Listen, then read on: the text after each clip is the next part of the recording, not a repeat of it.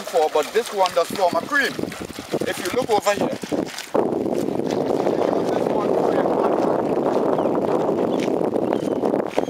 because this does end up with a sulfurated mud when the pool completely closes.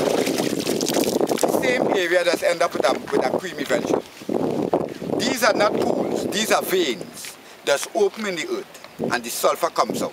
When these veins close back in, in this same spot, you will see a type of mud that you can rub on your skin with women that put it on for mud packs in them spas. This is the cream that has come from. That one is the raw sulfur that they usually bathe in, but most people will go on the fountain, come straight over.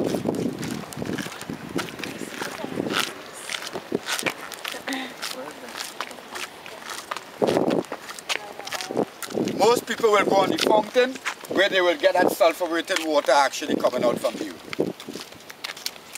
Lighter. Eh? Lighter. Nine are the light on me. Yeah one?